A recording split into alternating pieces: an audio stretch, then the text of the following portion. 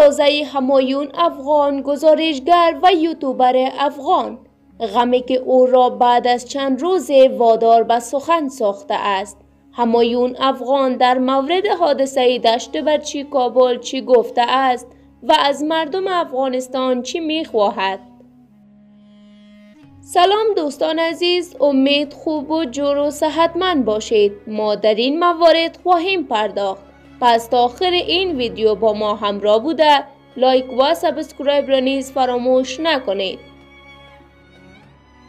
همایون افغان جوان گزارشگر و یک یوتیوبر فعال افغان که از پس کوچه های شهر کابل گزارش آماده می کند تا زبا غم و اندوه فراوان حادثه وحشتناک دشت برچی کابل را یک حادثه دردناک خوانده و خود را در این غم شریک دانسته است. همایون افغان از طرف تعداد زیادی افغانها در صفحات مجازی مورد انتقاد شدید قرار گرفت که در مورد حادثه دشت برچی کابل هیچ گونه واکنش و یا تسلیت نفرستاد.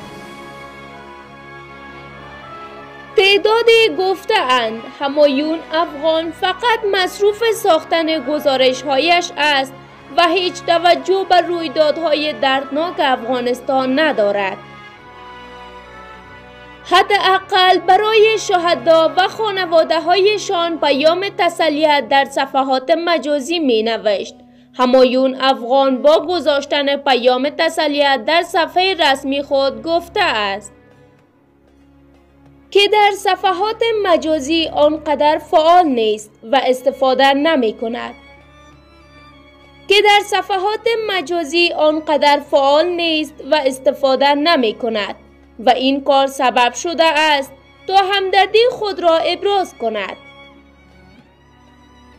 همچنان همایون افغان برای خانواده های داغ دیده حادثه علمناک دشت برچی کابل ابراز همدردی نموده برای شهدا بهشت برین و برای بازماندگانشان صبر جمیل از خداوند متعال خواسته است.